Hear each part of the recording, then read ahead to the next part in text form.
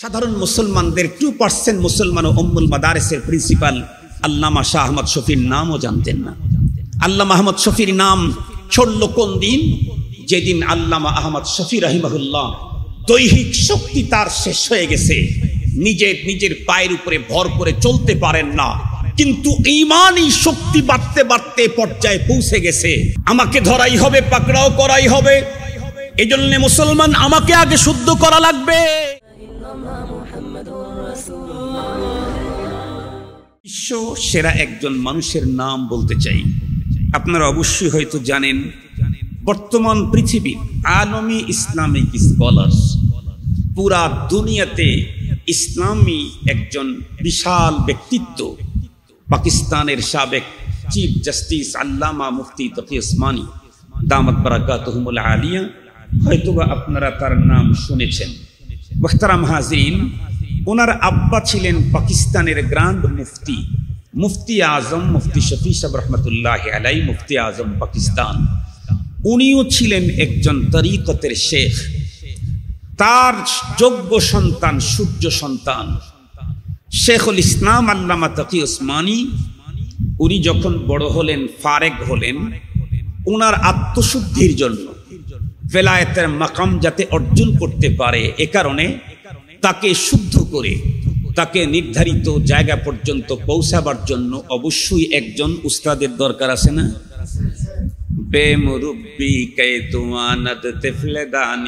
Sudan. বেমুরব্বি কতরা রা ইমকান বাশদ বে সদফ Gauhar Sudan. কতরা রা ইমকান বাশদ বে সদফ গৌহর সুদান। খুব ভালো করে কথাগুলি বুঝবেন। কো আরবজন কবি বলেছেন, খোদ বা খোদ কামিল না মোল্লায় রুম। খোদ বা খোদ কামিল না শদ মোল্লায় রুম। তা গুলামে শামসে তিবিরি জিনা শদ তা গুলামে শামসে একা একা অত বড় হওয়া যায় না। সাধারণ একজন টেইলার মাস্টার হতে চাইলে তাকে আরও একজন কাটার মাস্টারের অধীনে থেকে লম্বা দিন পর্যন্ত সবক নিতে হয়। মার পেট থেকে কেউ কখনো স্বর্ণকার হয়ে পৃথিবীতে জন্ম নেয় না। স্বর্ণকার হতে চাইলে দীর্ঘদিন পর্যন্ত কোনো এক স্বর্ণকারের সহবতে থেকে তারপরে নিজেকে যোগ্য স্বর্ণকার করে গড়ে তুলতে হয়। মোখতারাম হাজিন তাহলে সবকিছুতেই যদি কারিগর লাগে, তৈরি করার জন্য যদি ওস্তাদ লাগে, তাহলে আমিও যদি বেলায়েতের মাকাম অর্জন করতে চাই, তাহলে একা একা কখনোই সম্ভব হবে না। ওই রকম কোনো কামেল ওই রকমের কোন পরিপূর্ণ একজন শেখের কাছে আমাকে সফর্দ করতে হবে। এরপরে কামেল আল্লাহ বলি আল্লাহ পাক তৌফিক দিলে হওয়া যাবে। আল্লাহ পাক আমাদের সকলকে তার কামেল ওলি হওয়ার তৌফিক দান হাজরিন, ওলি হইতে চাইলে কিছু কাজ আমাদের আছে। খুব জরুরি কাজ। খুব ভালো করে কথাগুলি বুঝতে হবে। আমরা এসেছি আজকে ইসলাহী প্রোগ্রামে। এটা কোনো গতানুগতিক, সাধারণ কোনো ওয়াজ মাহফিল না। এ কারণে এখানকার আলোচনাটাও হতে হবে ওই মানের। যদি মাঠে ময়দানের স্বাভাবিক বয়ান এখানেও শুরু হয়, তাহলে ইসলাহী প্রোগ্রামের স্বতন্ত্রতা বলতে আর কিছু থাকবে না। ইসলাহী প্রোগ্রামের স্বতন্ত্রতা বলতে আর কিছু থাকবে না। আমাদের দেশের ইসলামী প্রোগ্রাম, ওয়াজ মাহফিল যেগুলি হয়, এগুলি আমরা শুরু করি নাই। এগুলি আমার কণ্ঠের কারণে শুরু হয় নাই। এগুলি যারা শুরু করেছেন, ওই সমস্ত মানুষ, যেই সমস্ত মানুষগুলি পেটে পাথর বেঁধেছেন, যেই সমস্ত মানুষগুলি এই জগতে ঘর, বাড়ির ফিকির ছেড়ে দিয়েছিলেন, যেই সমস্ত মানুষগুলি নিজেদের সন্তানের চাইতে তিনি অনুষ্ঠান আর প্রতিষ্ঠানকে বেশি মোহাব্বত করেছেন, যেই সমস্ত মানুষগুলি এই পৃথিবীতে নিজের ব্যক্তিত্বকে ফোকাস করার চাইতে আল্লাহর জমিনে আল্লাহর দিনের ফোকাসের বেশি মেহনত করেছেন তারা ইতিহাস দুইশো বছর আগে দেখতে হবে না, তিনশো বছর আগের ইতিহাস দেখতে হবে না। এমন কি একশো বছর পূর্বের আগের পূর্বের ইতিহাসও দেখতে হবে না।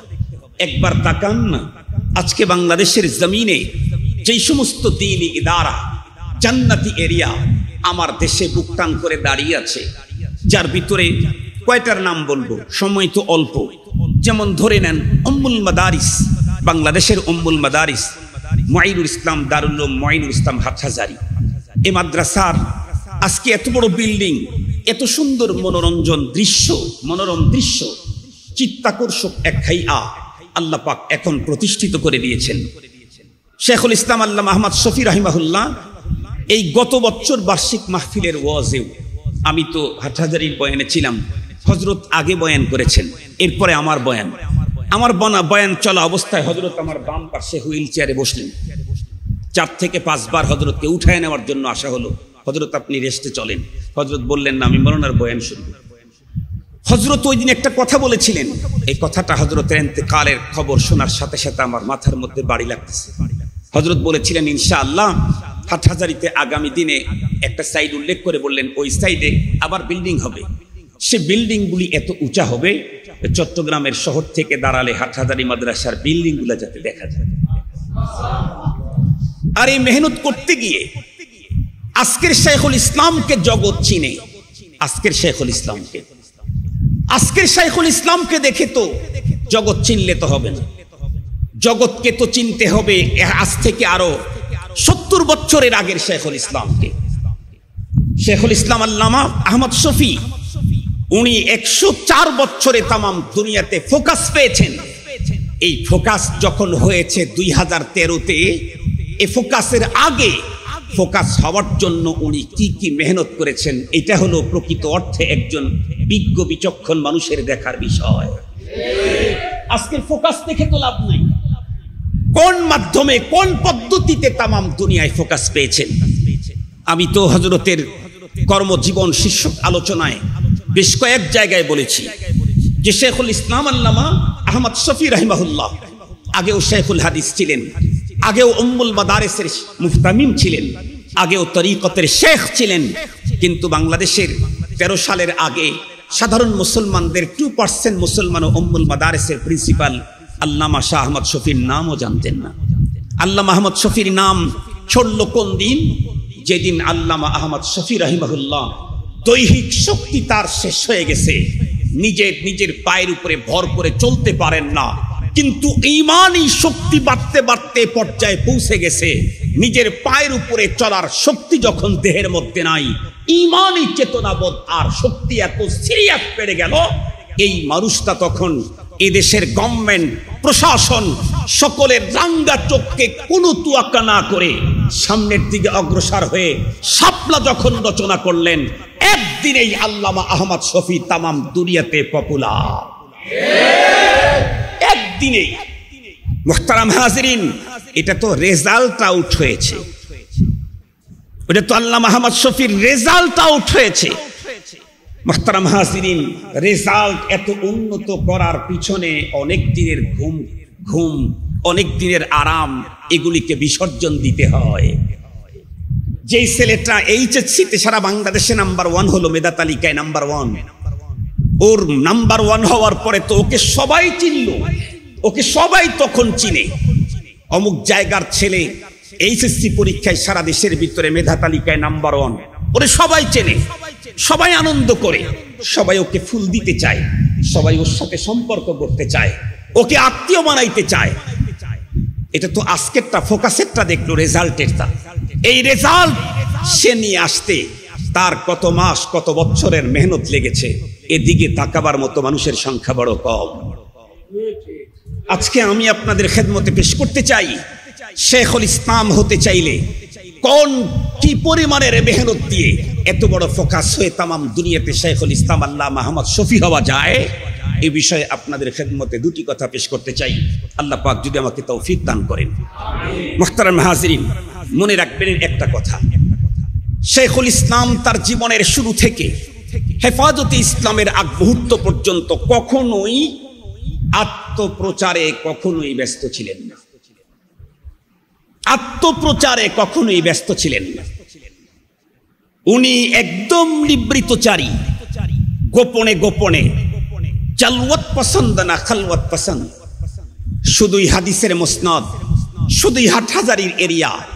শুধুমাত্র কেবলমাত্র খান, কার ওই ছোট্ট রুম, এখানেই নিজেকে নিজেকে সীমিত রাখতেন। নিজেকে দেশের ভিতরে, দুনিয়ার ভিতরে ফোকাস করার ফিকির তার ছিল না। আত্মপ্রচারে লিপ্ত ছিলেন না, উনি ছিলেন আত্মশুদ্ধিতে লিপ্ত। নিজের আত্মাকে শুদ্ধ করার জন্য লিপ্ত ছিলেন এবং নিজের আত্মাকে শুদ্ধ করার জন্য বিশ্বের ভিতরে সম- সমকালীন সময়ের সবচাইতে বড় একজন মানুষের মুসলেহ, মানুষের আত্মাকে সংশোধনকারী, যাকে শেখুল আরব বল আজম বলা হয়। শেখুল ইসলাম কায়েদ মিল্লত হুসাইন আহমদ মাদানী রহমতুল্লাহ আলাই তার কাছে উনি গেছেন। তার সহবতে উনি ছিলেন। নিজেকে কাদার মতো করে সুফুর্দ করেছেন শেখুল ইসলামের সামনে। শেখুল ইসলামের সামনে নিজেকে কাদার মতো করে পেশ করেছেন। মোহতারাম হাজিরিন, খুব ভালো করে বুঝবেন কথাগুলি। এমনি এমনি একজন কখনো বড় হতে পারে না। বড় হতে চাইলে নিঃসন্দেহে কোনো না কোনো একজনের মাধ্যমে নিজেকে বড় করার প্ল্যান নিয়ে সামনের দিকে অগ্রসর হতে হয়। আল্লাহ পাকের ওয়াদা আছে, ওয়াল্লাযীনা জাহাদু ফীনা লানাহদিয়ান্নাহুম সুবুলানা ওয়া ইন্নাল্লাহা লামাআল মুহসিনিন। আল্লাহ পাক বলেন যারা আমাকে পাওয়ার জন্য, আমার রাস্তায় চলার জন্য মুজাহাদা করবে, চেষ্টা করবে, আল্লাহ পাক বলেন, লানাহদিয়ান্নাহুম। মাদ্রাসার ওলামার তোলাবারা এটার তর্জমা বুঝবে। সাধারণ লোকেরা বুঝবেন না। হেদায়েত শব্দের দুইটা অর্থ হয়। একটা হলো ইসাল ইলাল মতলুব, গন্তব্যে পৌঁছিয়ে দেওয়া। এটাকেও আরবিতে হেদায়েত বলে। যেমন, আমি উর্দু রোডে ছিলাম আসরের আগে। একজনকে বললাম, আমি তো কামরাঙ্গীর চর নুরিয়া মাদ্রাসায় যাব। তো সে আমাকে পথ দেখায় দিল। সে আমাকে এখানে পৌঁছায় দেয়নি। সে আমাকে পথের ডিরেকশন দিয়ে দিল। এমনি এমনি এমনি এমনি ওখান থেকে ডানে, তারপরে বামে, তারপরে ডানে লোকেশন দিয়ে দিল। এটাও হেদায়েত। এটা হলো পথ দেখানো। আর একটা হলো, একজন মানুষ আমার গাড়িতে উঠে আমাকে নুরিয়া মাদ্রাসা পর্যন্ত পৌঁছিয়ে দিল। এটাও হেদায়েত। হেদায়েতের নিসবত যখন আল্লাহর দিকে হয়, তখন তার তর্জমা হলো গন্তব্যে পৌঁছিয়ে দেওয়া। একজন চীনা মানুষ যদি আমার গাড়িতে উঠে আমাকে গন্তব্যে পৌঁছিয়ে দেয়, তাহলে রাস্তার ভিতরে পদচ্যুতি হওয়ার কোনো সম্ভাবনা? জোরে বলেন, সম্ভাবনা? গমরা হওয়ার কোনো সম্ভাবনা?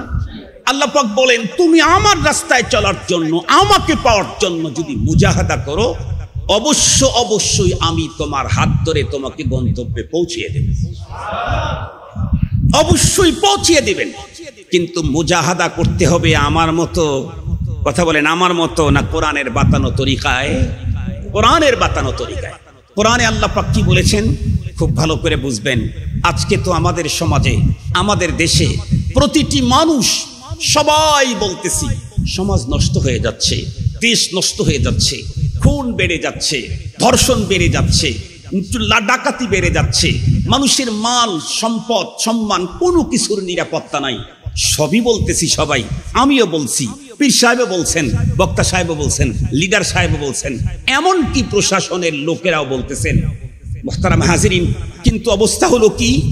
দেশ শেষ হয়ে যাচ্ছে, এটা উপলব্ধি করি অন্য শেষ হয়ে যাচ্ছে, এটার উপলব্ধি আমার আছে আর একজন শেষ হয়ে যাচ্ছে, এটার উপলব্ধি আমার আছে, সমাজ শেষ হয়ে যাচ্ছে, এটার উপলব্ধি আমার আছে, দেশ শেষ হয়ে যাচ্ছে, এটার উপলব্ধি আমার আছে, অর্থনীতি শেষ হয়ে যাচ্ছে, এটার উপলব্ধি আমার আছে আমাদের ফ্যামিলি শেষ হয়ে যাচ্ছে। এটার উপলব্ধি আমার আছে। আমার ছেলে শেষ হয়ে যাচ্ছে। এটার উপলব্ধি আমার আছে। আমার মেয়ে শেষ হয়ে যাচ্ছে। এটার উপলব্ধি আমার আছে। আমার অধীনস্থ লোকেরা শেষ হয়ে যাচ্ছে। এটার উপলব্ধি আমার আছে। আমার বাবা লাইনচ্যুত হয়ে যাচ্ছে। এটার উপলব্ধি আমার আছে। কিন্তু আমি যে লাইনচ্যুত হয়ে চলছি, এই উপলব্ধি নাই। আমি যে রাস্তার উপরে নাই, সে উপলব্ধিটা নাই। যতদিন পর্যন্ত মুসলিম মিল্লাতের মাঝে মুসলমান সমাজের মাঝে প্রতিটি ব্যক্তির ভিতরে এই উপলব্ধি ফিরে না আসবে। আমি শেষ হয়ে যাচ্ছি, আমি ক্ষতিগ্রস্ত হচ্ছি, আমি রাস্তার থেকে হটে যাচ্ছি, আমি রাস্তার থেকে সরে যাচ্ছি, আমি বেড়া হয়ে যাচ্ছি, আমি লাইনচ্যুত হচ্ছি। এই ফিকির যতদিন পর্যন্ত না ঢুকবে, আল্লাহর কসম করে বললে কাফারা দিতে হবে না। দেশ, সমাজ আর জাতি জীবনেও কোনোদিন সুন্দর হতে পারে না, জীবনেও ধর্ষণ কমতে পারে না, জীবনেও অনিয়ম, বেনিয়ম বদিনী লাদিনী একটাও কমতে পারে না তামাম পৃথিবীকে চ্যালেঞ্জ। মোহতারাম হাজরিন, আমি আমার থেকে বলি আলমার ইয়াকিসু আলা নাফসিহি, যে যেমন তার আন্দাজটা যেমন আমি খারাপ এই জন্য আমার আন্দাজ খারাপ। আমি খারাপ, এ কারণে আমার আন্দাজ খারাপ। যারা ভালো, তাদের মুখ থেকে ভালো আন্দাজের কথা বের হবে। আমি যেহেতু খারাপ, এ কারণে আমার আন্দাজটা খারাপ। মোহতারাম হাজরিন, কি দেখি আজকে আমাদের দেশে? কি দেখি? রাজনৈতিক বন্ধুদেরকে একটু পরেই দেখি, আগে আমি আমাকে আগে দেখি। নেতাদেরকে একটু পরে দেখি, আগে আমি আমাকে দেখি। সারা দেশের ভিতরে ইন- ইনসাফ প্রতিষ্ঠা একটু পরে ফিকির করি, আমার ঘরের ভিতরে আমি কতটুকু ইনসাফ করেছি, এটা আগে দেখি। আমি আমার ঘরের মধ্যে কতটুকু ইনসাফ প্রতিষ্ঠা করেছি। আমি সরকারের কাছে ইনসাফ চাই। আমি সরকারের কাছে ইনসাফ চাই। আমি আমার স্ত্রীর কাছে ইনসাফ চাই। আমি আমার সন্তানের কাছে ইনসাফ চাই। আমি আমার গ্রামের মানুষের নিকট থেকে ইনসাফ চাই। যে রব আমাকে সব দিলেন, উনি বুঝি ইনসাফ চান না আমার কাছে। উনি বুঝি আমার কাছে ইনসাফ পান না। উনি বুঝি আমার কাছ থেকে ইনসাফের পাওনাদার নন। মোহতারাম হাজরিন, আমার রব আমাকে বলেছেন, তোমার ঘুমটা এ তরিকায় হতে হবে, তার রসুলকে দিয়ে জানায়া দিয়েছেন। আমার রব তার রসুল পাঠায়া সবচাইতে উন্নত মানের চরিত্র দিয়ে তাকে সাজায়া, পৃথিবীর সবচাইতে উন্নত মানের ফর্মুলা দিয়ে তাকে তৈরি করে। মানুষের হেদায়েতের জন্য তাকে মানুষের মাঝে পাঠাবার আগে জিব্রাইল আমিরের মতো ফেরেস্তা দিয়ে তার পক্ষ বিদীর্ণ করে হান্ড্রেড পার্সেন্ট পূর্বেই তো স্বচ্ছ ছিল, ফ্রেশ ছিল, আরও ওভার ফ্রেশ করে। এরপরে তার ভিতরে কোরআনে কারিম ঢেলে দিয়ে, কোরআনে পাকের জীবন্ত নমুনা হিসাবে পয়গম্বর আমাদের মাঝে পাঠালেন।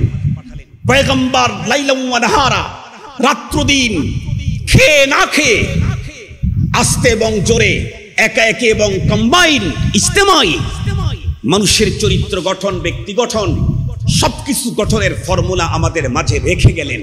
মোহতারাম হাজরিন, উনি আমাদেরকে শিখে দিলেন তোমার চাউনিটা কেমন হতে হবে, কোন চাউনি আল্লাহ পাক চান, কোন ধরনের ধরা আল্লাহ পাক চান, কোন ধরনের বলা আল্লাহ পাকের চয়েস কোন ধরনের কোন পথে চলা আল্লাহ পাকের চয়েস? কোন কথা বলা আল্লাহ পাকের চয়েস? কোন কথা শ্রবণ করা আল্লাহ পাকের চয়েস? কোন দিকে তাকানো আল্লাহ পাকের চয়েস? কোন জাতীয় ফিকির আর থিসিস আর গবেষণা আল্লাহ পাকের চয়েস? সব তো বলে গেলেন সবকিছু দিলেন যিনি, তার কোনোটাই আমি, সবগুলোই আমি মানতেছি কিনা, এটা আগে আমাকে দেখা দরকার। কথা বলেন না কেন ভাই? কথা বলেন মোহতারাম হাজরিন, আল্লামা তকি ওসমানী দামাত বারাকাতহমুল আলী এক সুন্দর কথা বলেছেন। উনি বলেন যে আমি অবাক হই। আমার ঘরের একজন মেয়ে অসুস্থ হয়ে গেল। আমি তাকে সেবা সুস্থ করার জন্য তার তেমন কোনো জটিল সমস্যা না, পেটে ব্যথা। তো আমি তাকে সেবা সুস্থ করার জন্য হাসপাতালে নিয়ে যাচ্ছি। তো হাসপাতালে নিয়ে গেলে অনেক হাসপাতাল তো বহুতল ভবন। উপরে উঠতে তো সিঁড়ি, লিফট লাগে। তো লিফটের ওখানে সিরিয়াল। সবচাইতে বেশি সিরিয়াস যে সে আগে উঠবে, এরপরে নর্মাল গুড়া পরে উঠবে, রুগীরা উঠবে, সাধারণ মানুষ পরে উঠবে। তো আমি যখন ওকে উঠাইতে একটু দেরি করতেছি, আমার ওই আমার ফ্যামিলির সে মেয়েটি আমাকে ডেকে বলল, আমাকে দ্রুত উঠানের ব্যবস্থা করেন। সে একদম ব্যাকুল হয়ে গেল। আমি বললাম, আরে, তুমি এমনটি করছ কেন? তোমার তো আপ টপ টু বটম আজ সার তা পা, মাথার থেকে পায়ের তালু পর্যন্ত টোটাল ঠিক আছে, সবগুলো ভালো আছে। শুধু পেটে একটু সমস্যা। যেই রোগীটাকে উঠানোর জন্য ওরা পিড়াপিড়ি করতেছে, সেই রোগীর তো পুরা শরীর পুরে ঝলসে গেছে। সুতরাং ওকেই তো একটু প্রাধান্য দেওয়া দরকার। এই কথা বলতেই আল্লামা তকি ওসমানী বলেন, আমার ফ্যামিলির সে মেয়ে তখন আমাকে ডেকে বলে যে, ওনার পুরা শরীরের উপরটা ছোট্ট রোগটাই বড় মনে হচ্ছে, মোহতারাম হাজরিন। কিন্তু দুনিয়াতে অন্য ব্যাপারে আমি কত মিথ্যার সাথে জড়িত আছি? আমি কত অবিচারের সাথে জড়িত আছি? আমি কত ব্যবিচারের সাথে জড়িত আছি? আমি কত জুলুমের সাথে জড়িত আছি? আমি মালিকের কত হুকুম না লঙ্ঘন করতেছি? এগুলি আমার ধরা পড়ে না। আর একজন একটা লঙ্ঘন করছে, ওইটাই আমার চোখে শুধু পড়ে। ওইটাই আমার চোখে শুধু পড়ে। এই পদ্ধতিতে তো কখনোই হবে না। মুসলমান ভাইরানি আমার কথাগুলা দিল দে বুঝবেন। হাকিমের ভিতরে ইরশাদ করেন, ইয়া আইয়ুহাল্লাযীনা আমানু আলাইকুম আনফুসাকুম লা ইয়াদুররুকুম মান দাল্লা ইদা ইহতাদাইতুম ইলাল্লাহি মারজিউকুম জামিআ ফায়ুনাব্বিউকুম বিমা কুনতুম তা'মালুন।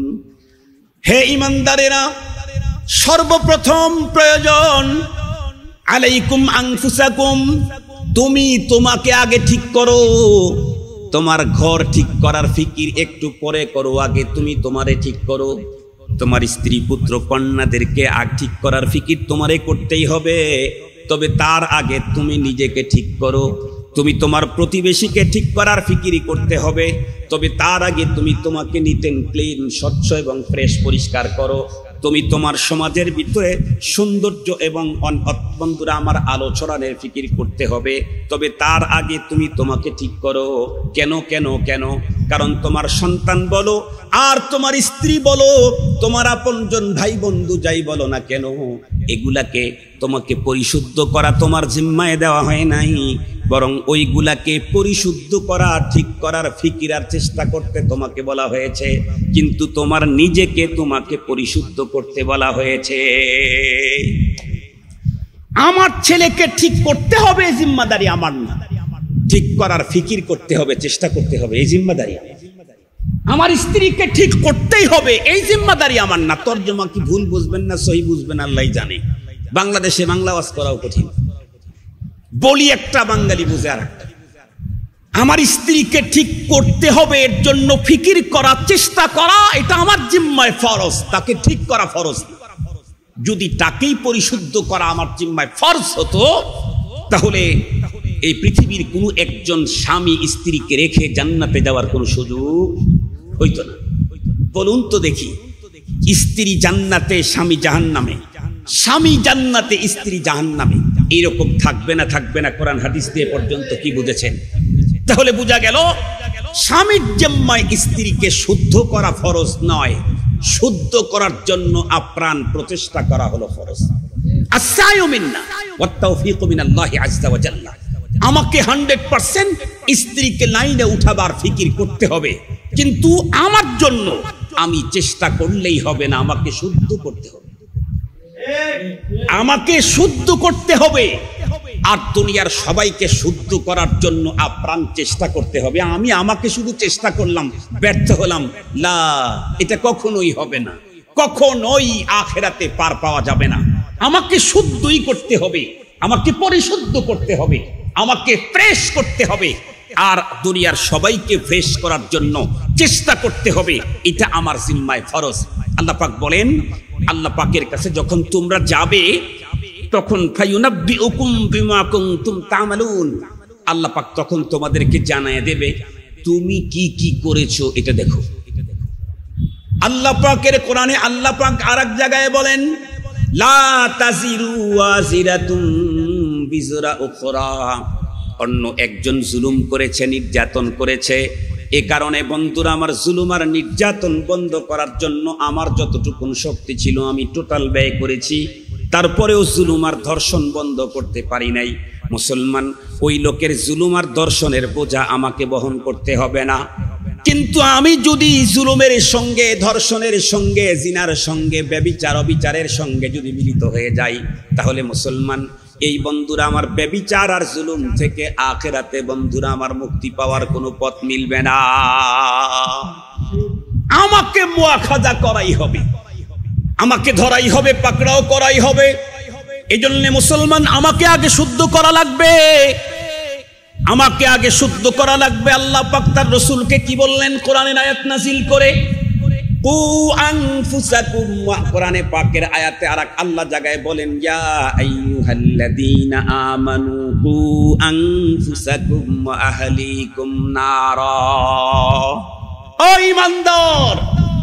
আরে তুমি প্রতিবেশীকে বাঁচাবার ফিকির করতেছো এত পাগল, তুমি তোমার ব্যাপারে উদাসীন কেন? আর একজনকে ব্যবিচার, অবিচার, জুলুম, জবান কন্ট্রোলের বক্তৃতা করো, তোমার জবান কন্ট্রোল কতটুকু? আর একজনের চোখ হেফাজতের ওয়াজ করো, তোমার চোখ কতটুকু কন্ট্রোল করতে পেরেছ? আমানু। হে ইমানদার প্রথমে তুমি তোমাকে আগুন থেকে বাঁচাও। আপনারা যারা প্লেনে উঠেছেন, তারা অবশ্যই জানেন প্লেনের ভিতরে সব যাত্রী যখন সুন্দর করে বসছে, এরপরে বিমানবালা অথবা ক্রু যেটা বলেন আর কি, তারা তখন বলে যে আমরা বিমানের ভিতরের কিছু নির্দেশিকা, অবস্থানের কিছু জরুরি বিষয় আপনাদেরকে জানাই দিচ্ছি। তোর ভিতরে কখনো কখনো সামনে ইয়ে আসে, স্কিনের ভিতরে ভেসে আসে। কখনো কখনো মাইক দিয়ে বলা হয় আর সামনে থেকে দুই, তিনজন প্র্যাকটিক্যালি দেখায়। তো ওখানে বলে, কখনো যদি বিমানের ক্যাবিনের ভিতরে কখনো যদি অক্সিজেন ক্রাইসিস দেখা দেয়, তাহলে উপর থেকে অক্সিজেন মাস্ক অটোমেটিকলি নিচে পড়ে আসবে পড়ে যাবে। আপনারা তখন মাস্কগুলি টেনে সর্বপ্রথম আপনি আপনার নাকে মুখে সুন্দর করে পড়ুন এরপরে আপনার পাশে থাকা ছোট অথবা বড়কে মাস্ক পড়তে সহযোগিতা করুন। আল্লাহ পাকের কোরআন আল্লাহ পাক বলেন এই ইমানদার আর একজনের ফিকির আগে করতেছস কে? তুই তোর ফিকির আগে কর। তুমি তোমাকে জাহান্নামের আগুন থেকে বাঁচাও। তুমি তোমাকে আগে জাহান্নামের আগুন থেকে বাঁচাও। নেক্সটে যখন তুমি বাঁচছো ও আহলিকুম, এখন পরিবারকে বাঁচাও। এখন তোমার নিকট যারা আছে তাদেরকে বাঁচাও। এরপরে রপ্তা রপ্তা আল্লাহ তোমাকে তৌফিক দিলে, সূর্য পৃথিবীর যে রাষ্ট্রে উদয় হয়, সেখান থেকে শুরু করে সর্বশেষ সূর্য অস্ত যায় পৃথিবীর যে রাষ্ট্রে, সে রাষ্ট্র পর্যন্ত যাও। মানুষদেরকে জাহান নামের আগুন থেকে বাঁচাবার ফিকির করো। যদি তুমি আগে শুদ্ধ হও, এরপরে যদি শুদ্ধি অভিযান চালাও, তাহলে কি হবে? হাজার বছরের হাজার বছরের বিধ্বস্ত মানবতা অল্প দিনেই উদ্ধার করা সম্ভব হবে। আর যদি এমনটি হয়, তুমি অশুদ্ধ দুনিয়াকে শুদ্ধ করার চেষ্টা করো, তাহলে তোমার বক্তব্য শেষ হবে, তুমিও শেষ হবে। তোমার মতো শুদ্ধি অভিযানের নায়ক আর মহানায়করা আসবে আর কফিন বটতে থাকবে। জীবনেও কোনোদিন সমাজ আর দেশ শুদ্ধ হতে পারে না। মুসলমান ভাইরারি আমার লম্বা কথা বলতে চাই না। আজকে বন্ধুরা আমার দেশ পরিচালক থেকে শুরু করে, প্রশাসন থেকে শুরু করে, আমরা হুজুররা পর্যন্ত, খানকা পর্যন্ত যত জায়গায় বন্ধুরা আমার সত্যি অভিযান চলতেছে, কিন্তু তেমন কোনো ফলাফল পাওয়া যাচ্ছে না। এটার মূল কারণ, এক নম্বরের কারণ শুদ্ধি অভিযান যাদেরকে দিয়ে চালানো হয় তারা নিজেরাই শুদ্ধ হয় নাই।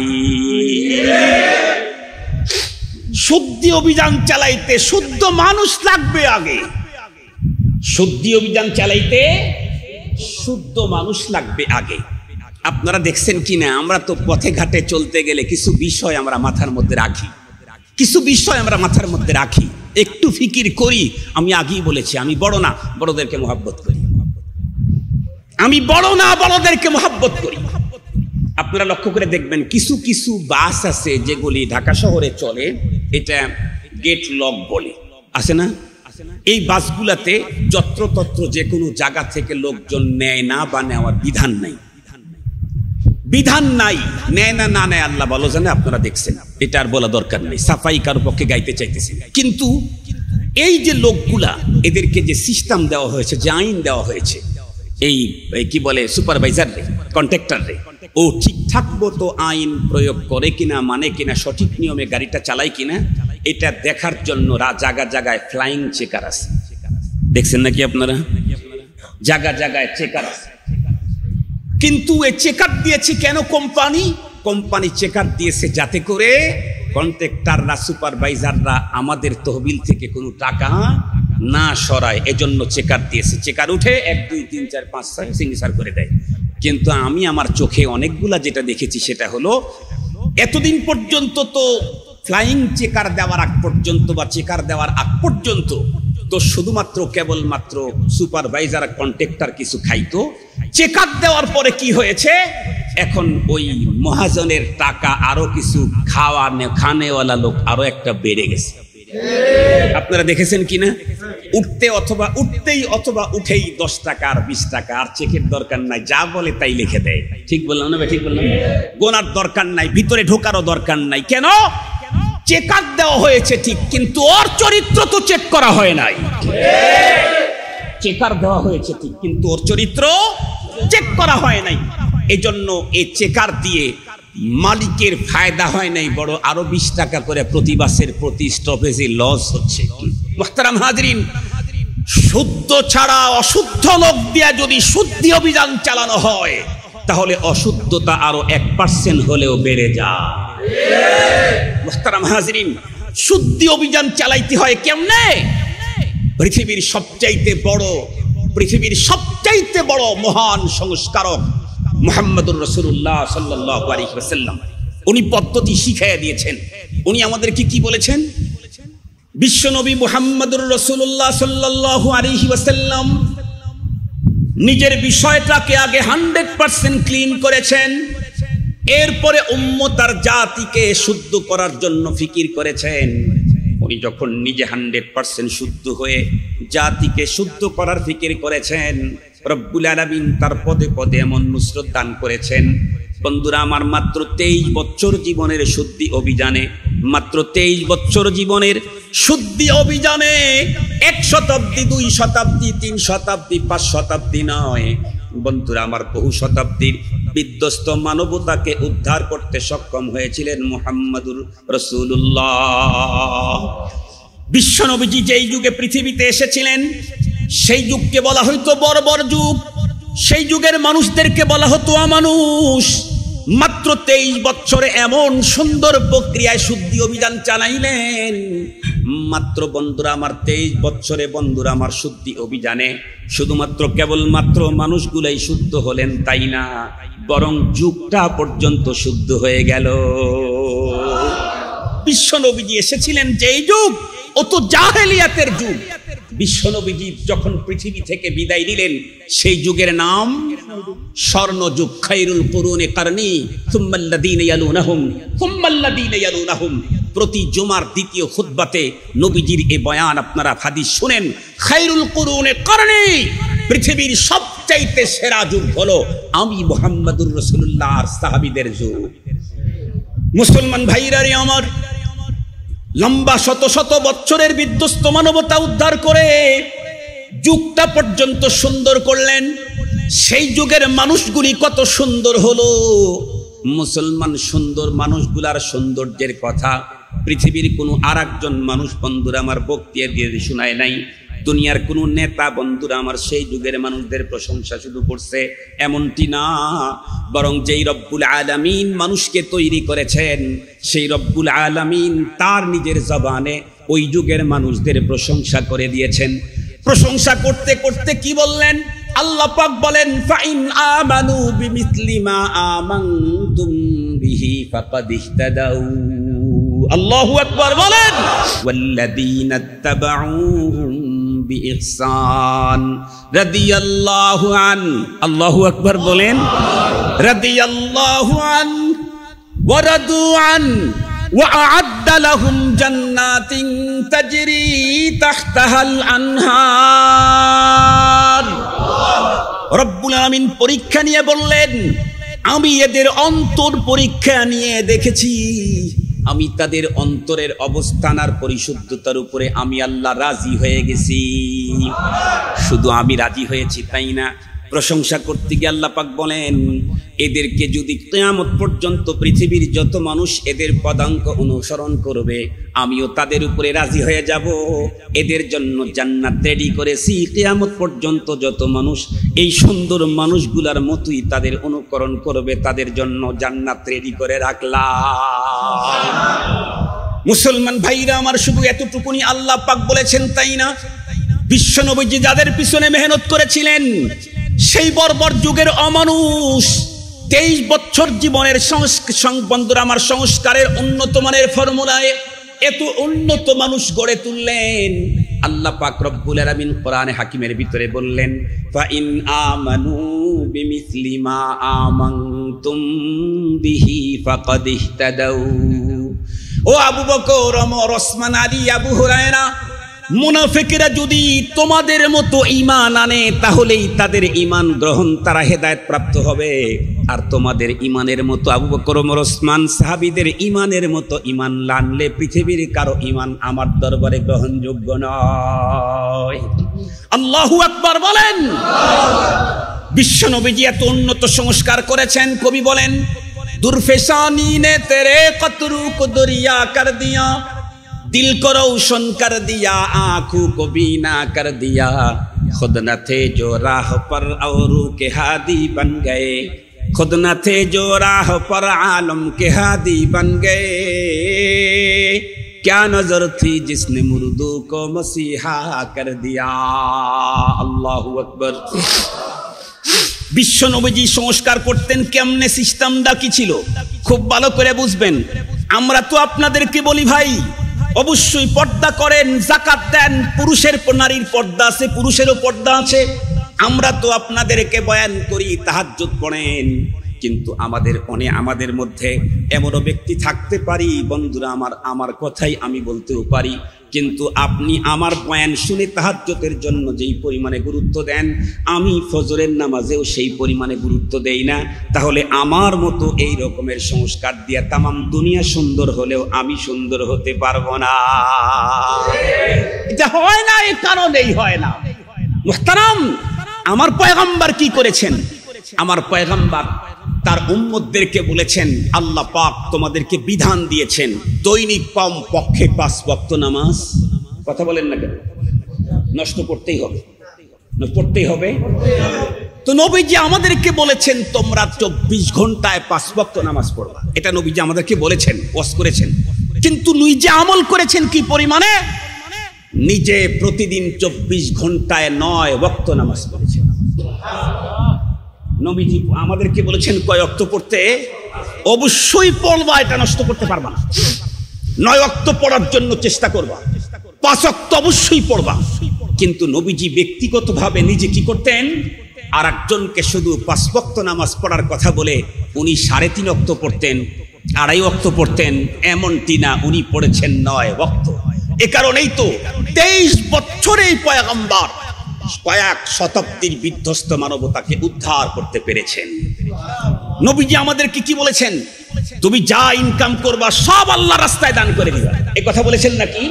কখনোই এ কথা নবীজি বলেন নাই। সব দান করবা, করতে হবে।